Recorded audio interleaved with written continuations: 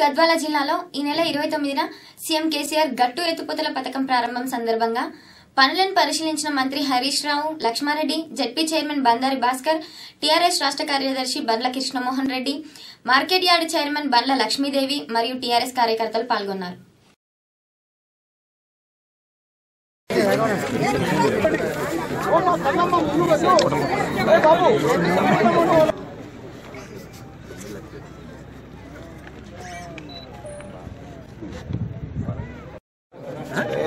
కదా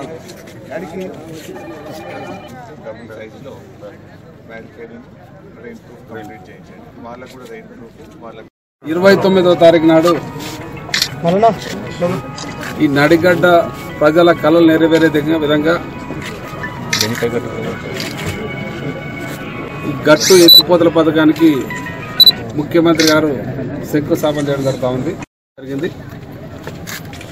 ముఖ్యమంత్రి కేసీఆర్ గారు ఉద్యమ నాయకుడు ఉన్నప్పుడే అలంపూర్ గద్వాల పాదయాత్ర చేసి మరి ఇక్కడున్న ప్రజల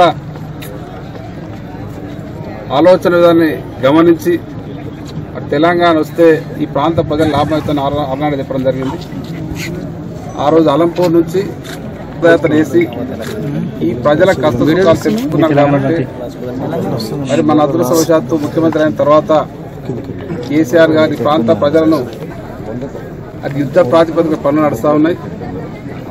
మరి తొందరలోనే అల్లంపూర్ ప్రజలందరూ కూడా చివరి ఆయకట్టు వరకు ఆర్డీఏ చివరి ఆయకట్టు వరకు కూడా తుమ్మిళ్ళ లిఫ్ట్ ఇరిగేషన్ ద్వారా నీరు అందించడం జరుగుతూ ఉంది. మరి ఆల్రెడీ అది ఫౌండేషన్ అయిపోయింది. ఆ పనులు ఇక్కడికి వచ్చి ఇక్కడ ఫౌండేషన్ వేసి గద్వాలో పబ్లిక్ మీటింగ్ పెట్టడం జరుగుతాం ఈ తుమ్మిళ్ళ గట్టు రెండు మరి ఈరోజే ఈ ప్రాంత నాయకులు కొందరు స్టేట్మెంట్ చూసిన పేపర్లో ఈరోజు స్టేట్మెంట్ చూసినాం.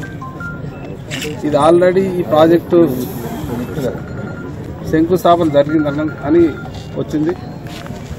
శంకుస్థాపన జరిగిన విషయం వాస్తవమే కానీ ఆ శంకుస్థాపన పాలములు యొక్క కాదు. కేవలం గతంలో సర్వే గురించి మూడు ఎకరా మూడు వేల ఎకరాల ఆయకట్ట స్థిరీకరణకు సంబంధించి మాత్రమే అప్పుడు శంకుస్థాపన చేయడం జరిగింది. మరి ఈరోజు ప్రజలకు విధంగా మరి ప్రాంత ప్రజలు బాగుపడే విధంగా ఈ లిఫ్టిగేషన్ శాంక్షన్ చేసి ఫౌండేషన్ వేసి మరి తొందరగా ఈ ప్రాంత ప్రజల కళ నెరవేర్చడం జరుగుతూ ఉంది. అట్లా బ్రహ్మాండంగా పనులు నడుస్తూ ఉన్నాయి. మేడ్చల్ జిల్లా పరిషత్ వైస్ చైర్మన్ బొంగునేడు ప్రభాకర్ రెడ్డి జన్మదిన వేడుకలు కుత్బుల్లాపూర్ గండిమెసమ్మలోని ఒక ఫంక్షన్లో ఘనంగా జరిగాయి. ఎంపీ మల్లారెడ్డి స్థానిక MLA KP Vivekananda Goud Medchal TRS senior నాయకులు మరియు MVR TV managing director Madhula Srinivas Reddy గ్రామ సర్పంచ్లు వార్డు మెంబర్లు ఈ వేడుకల్లో పాల్గొన్నారు.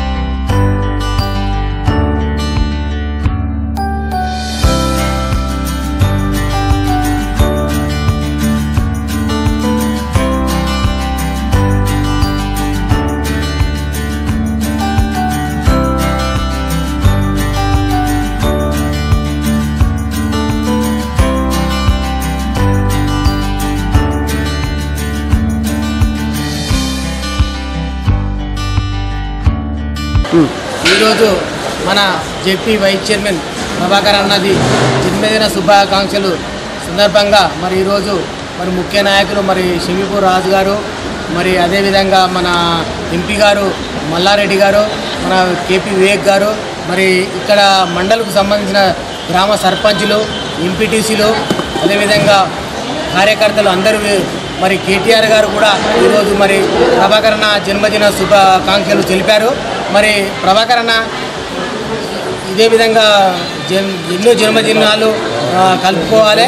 మరి అంచెలంచెలుగా మరి ప్రభాకర్ ఎదగాలని మరి రాజకీయంగా కుద్లపూర్ కాన్స్టెన్సీ ప్రజలందరూ కోరుకుంటున్నారు కాబట్టి ఆ భగవంతుని ఆశీస్సులు ఉండాలని కోరుకుంటున్నాం.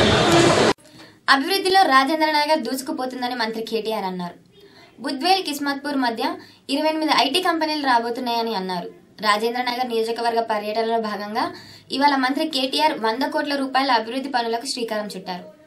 నిజంగా ఎవడన్నా కొత్తోడు వస్తే మాత్రం ఆగం కావాలి. అబ్బా వీళ్ళు ఇదివరకు లేనే లేరా? కొత్తగా పార్టీ పెట్టినరా యాభై ఏళ్ళు మరి మీరేం చేసిండ్రా?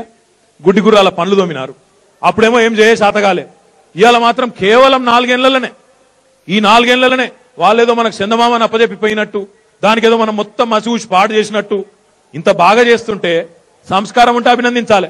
సాత కాకపోతే నోరు మూసుకొని కూర్చోవాలి. కానీ మీదికెళ్ళి ఇంకా లగాయించి మాట్లాడుతున్నారు. ఇది చేస్తాం అది చేస్తాం. మీరు ఏం చేస్తారో అందరికి ఎరికే.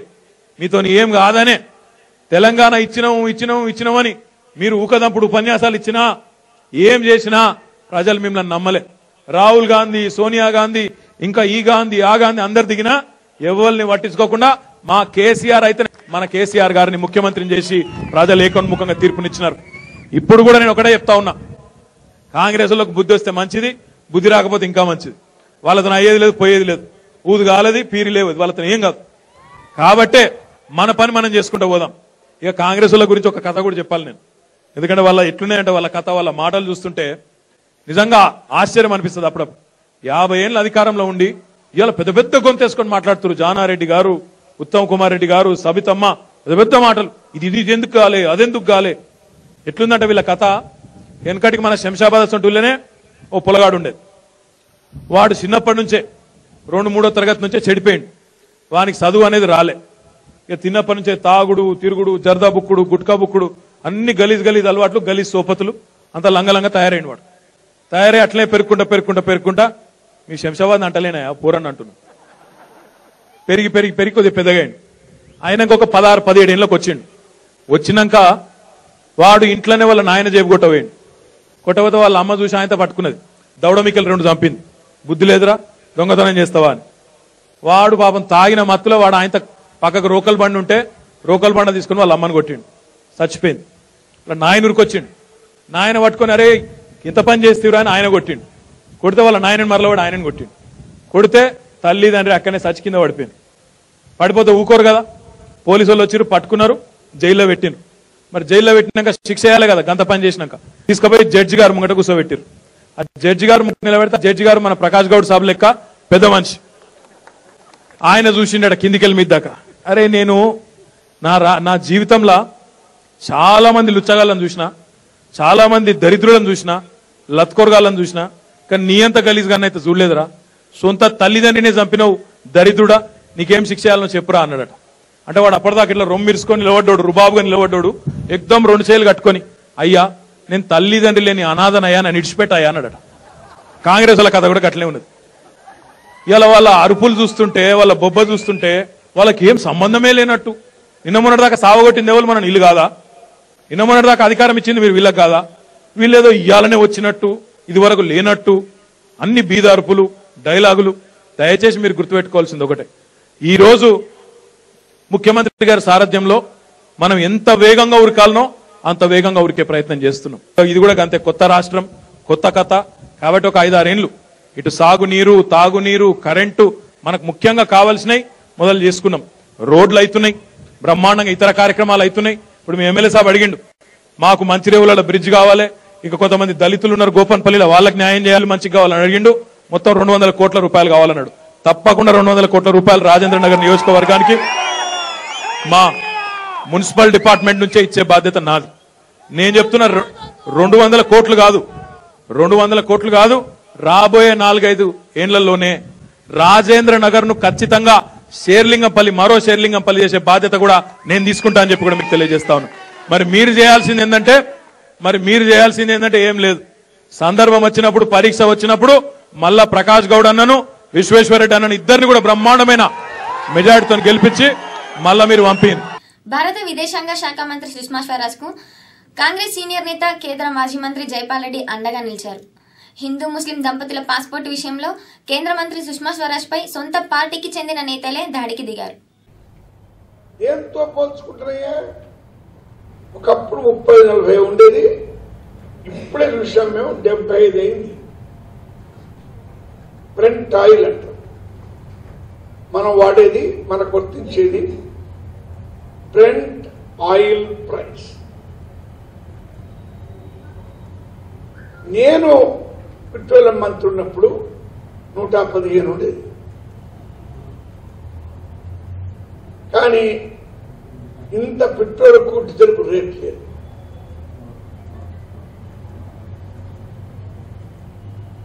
ఇప్పుడు ప్రజల పైన పడి వసూలు చేస్తున్నారు.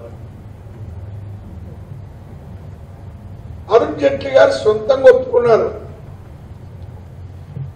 ప్రజలు నిజాయితీగానట పన్నులు కట్టడం లేదట కాబట్టి ఈ విధంగా వసూలు చేస్తున్నారు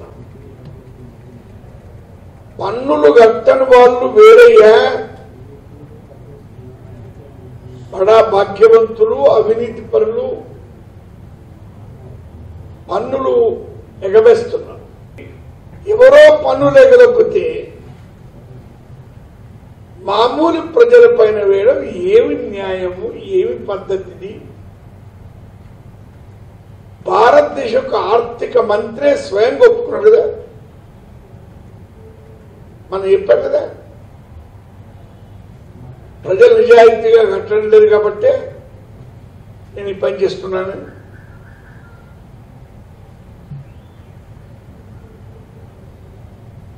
ఈ పెట్రోల్ ప్రొడక్ట్స్ విషయంలో ఈ ప్రభుత్వము చాలా దుర్మార్గమైన పని చేస్తుంది. నల్లధనమే ఉండదు. ఇక ట్యాక్స్ తప్పించుకునే సమస్య లేదు. ఇవన్నీ చెప్పాం కానీ ఫెయిల్ అయిపోయినవి అని పరోక్షంగా ఒప్పుకున్నట్టు కదా. ఇదిలా ఉంచి ఈ డీజిల్ పైన ముఖ్యంగా రేట్లు పెంచడం వల్ల అన్ని వస్తువుల యొక్క రేట్లు పెరిగేటువంటి ప్రమాదం ఉంది. బీదల పట్ల కానీ మిడిల్ క్లాస్ పట్ల కానీ సానుభూతి ఉన్న వాళ్ళు లేరు. బడా పారిశ్రామికవేత్తల విషయం తప్ప మిగతా గురించి ఆలోచించే వాళ్ళు లేరు అవగాహన ఉన్న వాళ్ళు లేరు కాబట్టి ఈ డీజిల్ ప్రైస్ పెరగడం వల్ల it has a cascading effect. Telangana సర్కార్ ప్రతిష్టాత్మకంగా నిర్మిస్తున్న కాళేశ్వరం ప్రాజెక్టును చూడటానికి ఉప్పల్ నియోజకవర్గం కార్పొరేటర్లు తరలి వెళ్ళారు. ఈ టూర్లో నగర మేయర్ బొంతు రామ్మోహన్ ఉప్పల్ నియోజకవర్గ కార్పొరేటర్లు గోపు సరస్వతి సదానంద్ అంజయ్య టీఆర్ఎస్ నాయకులు ఉన్నారు. హైదరాబాద్ నుంచి మరి ఉప్పల్ కాన్స్టిట్యున్సీ మా గౌరవ ఇన్ఛార్జ్ గారు గౌరవ కార్పొరేటర్లు మరి గౌరవ GHMC ward committee area committee division president మరి ఉప్పల్ కాన్స్టిట్యున్సీలో ఉన్న మరి కేసీఆర్ అభిమానులంతా కూడా మరొక ఇంజనీరింగ్ అద్భుతమైన కాళేశ్వరం ప్రాజెక్ట్ ఏదైతే ముందస్తు ఎన్నికలు ఊహాగానలేనని బీజేపీ అధికార ప్రతినిధి సంబిత్ పాత్ర అన్నారు. టీఆర్ఎస్ ప్రభుత్వాన్ని ఓడించి అధికారంలోకి వస్తామని ఆయన ధీమా వ్యక్తం చేస్తున్నారు. కాంగ్రెస్ పాలనలో అవినీతిమయంగా ఉండేదని ఆయన తీవ్ర స్థాయిలో విమర్శించారు. ముందస్తు ఎన్నికలు ఊహాగానాలేనని బీజేపీ అధికార ప్రతినిధి సంబిత్ పాత్ర అన్నారు. మంగళవారం ఆయన మీడియాతో మాట్లాడుతూ టీఆర్ఎస్ ప్రభుత్వాన్ని ఓడించి అధికారంలోకి వస్తానని ఆశాభావం వ్యక్తం చేశారు. కాంగ్రెస్ పాలనలో ఆ పార్టీ నేతలు ప్రజల సొమ్ము దోచుకున్నారని ఆయన తీవ్రస్థాయిలో విమర్శించారు. అధికార దాహంతో కాంగ్రెస్ అధ్యక్షుడు రాహుల్ గాంధీ నీచ వ్యాఖ్యలు చేశారని వారసత్వ రాజకీయాలు చేస్తున్నారని ప్రజాస్వామ్యవాదులు కారని ఆయన దుయ్యబట్టారు. MP Asaduddin న్యూజిన్నా అని సంబిత్ పాత్ర వ్యాఖ్యానించారు Friends, you would be astonished to know since I am in front of my journalist friends, 253 top journalists of the country were imprisoned. People who represented foreign newspapers and broadcasting agencies like BBC, etc., the foreign correspondents, they were barred from entering into India. Some of the eminent journalists like Mark Tully, they were not allowed to enter and report for BBC. They were even contemplating arrests of some of the foreign correspondents. Such was the scenario as far as freedom of expression and media is concerned. As regional parties are concerned, the beauty of India is it's a multi-party system democracy. We respect every political party, but you would see, and since it's a very historical day today, a day when emergency was imposed 43 years ago, most of these political parties who are at the helm of affairs in any state, they had taken birth out of anti-democracy, anti-Congress thought process.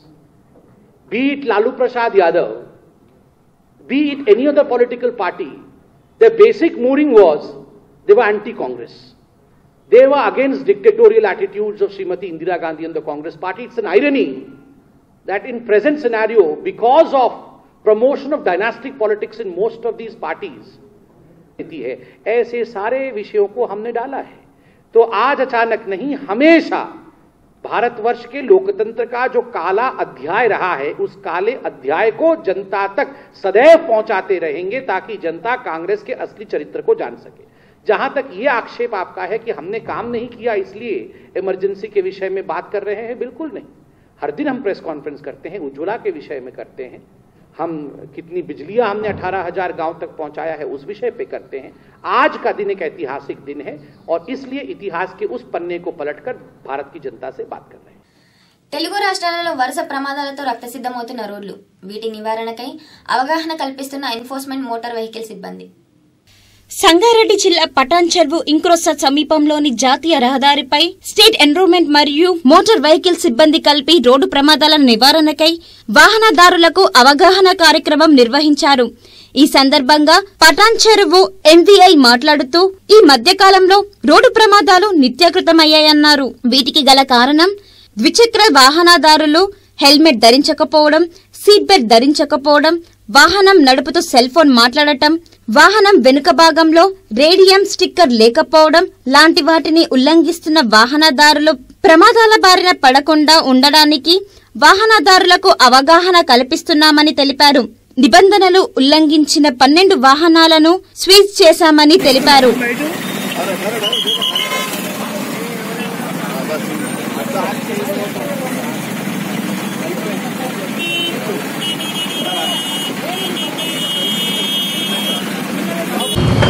Transport commissioner మరియు JTC vigilance Ramesh గారి ఆధ్వర్యంలో ఈరోజు road safety awareness programme Patancheru MVI గారి joint కలిసి చేయడం జరిగింది.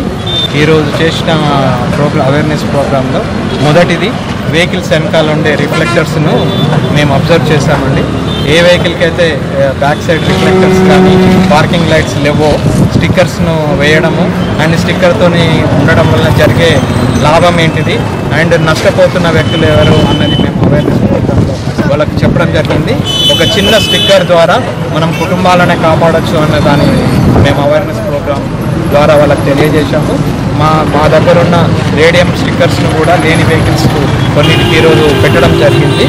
కాబట్టి ప్రతి ఓనర్ కానీ వాళ్ళు వాళ్ళ వెహికల్ మెయింటెనెన్స్ ఎలా చేస్తున్నారో దీన్ని కూడా సేఫ్టీ ఆస్పెక్ట్లో తీసుకొని వాళ్ళ వెహికల్ యొక్క బ్యాక్ సైడ్ రిఫ్లెక్టర్స్ కానీ పార్కింగ్ లైట్స్ కానీ చెక్ చేసుకొని ఉంటే మనం వేరే వాళ్ళ ఫ్యామిలీని వాళ్ళను రక్షించిన వాళ్ళం అవుతామని చెప్పేసి మేము ప్రజలకు తెలియజేస్తాం హెల్మెట్ ధరించడం ద్వారా ఉండ ఉండే ప్రయోజనాలు ఏంటి అంటే హెల్మెట్ లేకుండా పోతున్న టూ వీలర్స్ని ఆపి వాళ్ళ కౌన్సిలింగ్ చేశాము.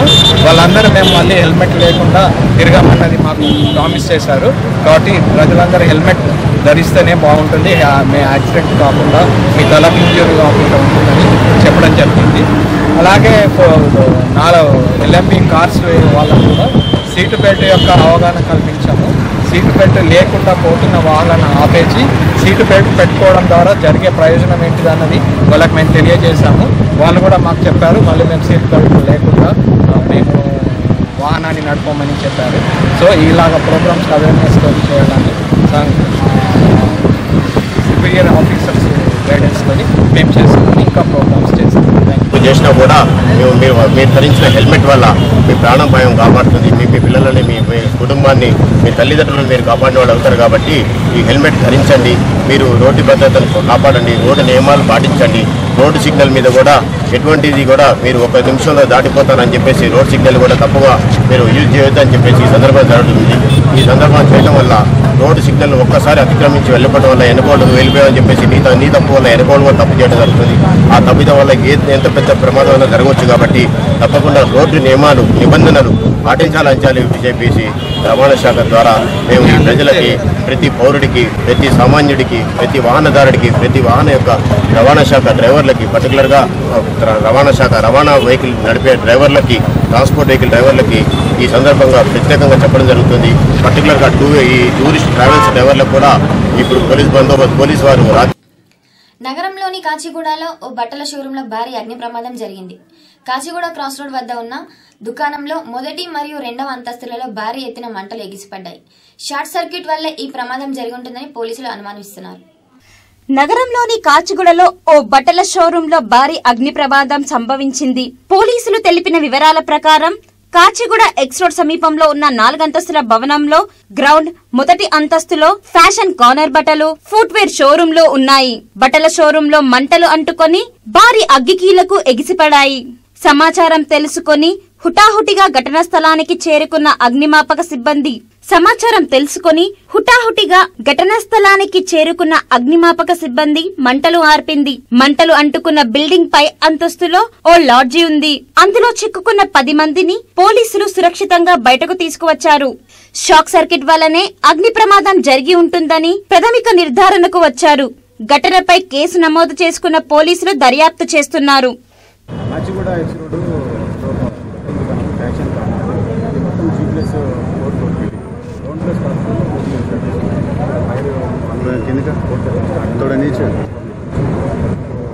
పైన త్రీ ఫ్లోర్స్ లాడ్జ్ ఉన్నాయి అందులో సుమారు పది మంది వరకు అయితే ఇమీడియట్గా పక్క వాళ్ళు అలా చేస్తే ఇలా లాడ్జ్లో ఉన్న వాళ్ళని వేరే ప్రాణ నష్టం ఇన్వాల్వ్మెంట్ కూడా అన్న సో అగ్ని ప్రమాదం పెద్దది కూడా వల్ల రెండు వెహికల్స్ తెలంగాణలో పంచాయతీ ఎన్నికలకు హైకోర్టు బ్రేక్ వేసింది బీసీల రిజర్వేషన్ ప్రక్రియ సరిగ్గా లేదంటూ కాంగ్రెస్ నేత దాసో శ్రవణ్ కుమార్ వేసిన పిటిషన్ను స్వీకరించిన కోర్టు ఈ నిర్ణయాన్ని వెల్లడించింది. తెలంగాణ పంచాయతీ ఎన్నికలకు హైకోర్టు బ్రేక్ వేసింది. రిజర్వేషన్ల ప్రక్రియ తేల్చేదాకా పంచాయతీ ఎన్నికలు నిర్వహించొద్దని కోర్టు ఆదేశించింది. బీసీల రిజర్వేషన్ ప్రక్రియ సరిగా లేదంటూ కాంగ్రెస్ నేత దాసోజు శరత్ హైకోర్టును ఆశ్రయించారు. దీనిపై విచారణ చేపట్టిన హైకోర్టు బీసీలకు ఏ ప్రతిపాదికన? ముప్పై నాలుగు రిజర్వేషన్లు కేటాయించారని ప్రభుత్వ తరపు న్యాయవాదిని కోర్టు ప్రశ్నించింది. రెండు మూడు రోజుల్లో ఎన్నికల నోటిఫికేషన్ సిద్ధమవుతున్నట్లు అడిషనల్ అడ్వకేట్ జనరల్ తెలిపారు. బీసీఏ బీసీ రిజర్వేషన్ల ప్రక్రియ తేల్చాకే ఎన్నికలకు వెళ్ళాలని ఏసీకి హైకోర్టు సూచించింది.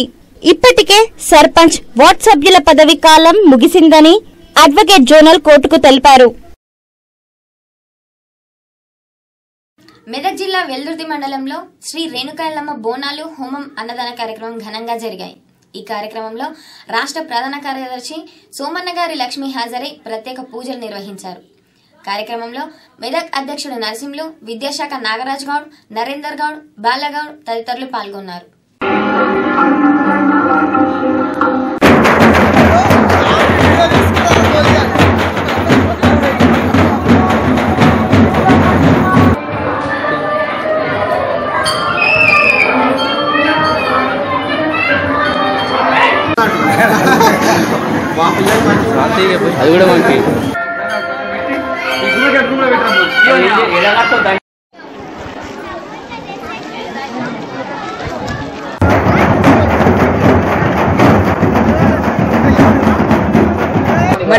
ఏ ప్రాంతం అభివృద్ధి అయినా కూడా ఆ ప్రాంతపు ఆచారాలు వ్యవహారాలు మరి ఆ ప్రాంతపు సంప్రదాయాల మీద ఆధారపడి ఉంటుంది. అవే ఆ ప్రాంత అభివృద్ధిని తెలియజేస్తాయి కాబట్టి మన దేశంలో అత్యధిక ప్రాచీనమైన భారతదేశంలో మరి వేదాలు సంస్కృతులు సంప్రదాయాలు అనేటివి ఇంకా కాపాడబడుతున్నాయి అని అంటే మనం అందరం కూడా గర్వించదగ్గ విషయము.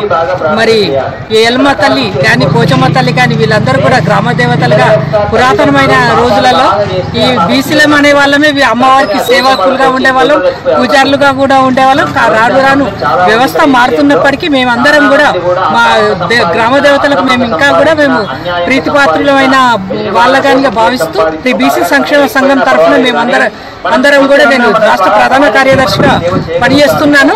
మరి ఈ సంకల్పంలో ఏదైతే బీసీల కొరకు మా మేమెంతో మా వాటా అంతా కావాలి అన్ని రంగాల్లో కూడా మేము అభివృద్ధి చెందాలనే ఒక నినాదంతో మేము ముందు- ముందుకు పోతున్న కార్యక్రమంలో కూడా ప్రజలందరితో పాటు ముఖ్యంగా అమ్మవారి దయ కూడా మాకు ఉండాలని ఆ అమ్మ ఆమె ఆశీస్సులతో అనుకున్నది సాధించి బీసీలందరినీ కూడా చైతన్యం చేసి అందులో మా పాత్ర ఉండాలని వాళ్ళ హృదయాల్లో మేము నిలుచుకోవాలని ఈ సందర్భంగా కోరుకుంటూ నాకు ఈ అవకాశం ఇచ్చి నాకు ఇంత మంచి దర్శన భాగ్యం కలిగేసిన ఇక్కడ ఉన్న సోదరులందరికీ ప్రజలందరికీ కూడా నా యొక్క ధన్యవాదాలు తెలియజేస్తున్నాను.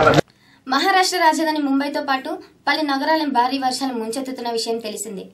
భారీ వర్షాలకు వరద నీరు పొంగి పొరులుతోంది. పాల్గర్లో ఇద్దరు విద్యార్థులు మ్యాన్హోల్లో పడిపోతుండగా వారిని కాపాడిన బస్ డ్రైవర్ మృతి చెందాడు.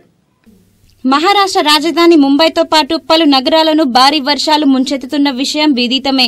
భారీ వర్షాలకు వరద నీరు పొంగిపొర్లుతుంది పాల్గర్లో ఇద్దరు విద్యార్థులు నడుచుకుంటూ వెళ్తుండగా ప్రమాద శాతం మ్యాన్హోల్లో మునిగిపోతుండగా వారిని కాపాడి ఓ బస్ డ్రైవర్ మృతి చెందాడు. వివా స్కూల్ నుంచి బస్సులో పిల్లలను తమ నివాసాలకు డ్రైవర్ ప్రకాష్ పాటిల్ తీసుకెళ్తున్నారు. ఇద్దరు విద్యార్థులను వారి ఇండ్లకు సమీపంలో దించి తన నివాసానికి ముందుకు పోనిచ్చాడు. ఇంతలో ఆ పిల్లలిద్దరూ వర్షపు నీటిలో తడుచుకుంటూ మ్యాన్హోల్లో పడిపోయారు. విషయాన్ని గమనించి స్కూల్ బస్ డ్రైవర్ హుటాహుటిగా అక్కడికి చేరుకొని ఇద్దరు పిల్లల ప్రాణాలను కాపాడారు. బస్ డ్రైవర్ మాత్రం మ్యాన్హోల్లో పడి ప్రాణాలు కోల్పోయాడు. మృతుడికి భార్య ముగ్గురు పిల్లలు ఉన్నారు. పాటిల్ నివాసంలో విషాద ఛాయలు అలుముకున్నాయి. బస్ డ్రైవర్ మృతి పట్ల వివార్ స్కూల్ యాజమాన్యం తీవ్ర దిగ్భ్రాంతి వ్యక్తం చేసింది. ఇవి ఇప్పటి వరకున్న అప్డేట్స్. మరిన్ని వార్తలతో మళ్ళీ కలుద్దాం. అంతవరకు సెలవు నమస్కారం.